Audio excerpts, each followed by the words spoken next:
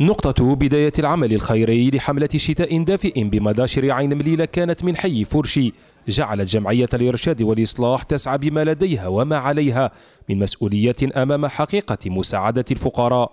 الحمد لله أن وفقنا أن وصلنا لهذه هذه النقطة المعوزة. في مدينة المال والأعمال مدينة عين مليلة التي تزخر بأموال زاخرة ضخمة وكبيرة. إحنا إحنا نشكر كل الشكر جميع المحسنين الذين ساهموا معنا في إيصال هذه المعونة وهذا هذا الخير لهذا الناس المعوزين. والمبادرة مستمرة وإن شاء الله نزيد نوصل لعائلات أخرى. بطانيات وقارورات غاز البوطان وألبسة والكثير من المواد الغذائية حطت رحالها لمن هم بحاجة إليها. والعملية لاقت تجاوبا حسنا ممن مستهم العملية. يقول لهم كثر خيركم وربي يستركم وربي إن شاء الله يصلح الجزائر وربي يحفظنا وربي يكون الخير إن شاء الله وربي يستركم. لا واش حنقول لك؟ حسيت بحاجة مليحة. خاطرش من قبل إحنا نسمعوا عليكم بالاشياء اللي درتوها بالحوايج يعني الخدايم المليحة اللي تخدموا فيها للعباد.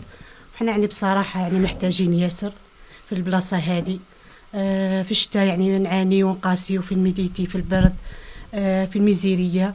الخير لأهله جنة وطبيعة العمل التطوعي لإسعاد من أراد رفع الغمة عن واقعه.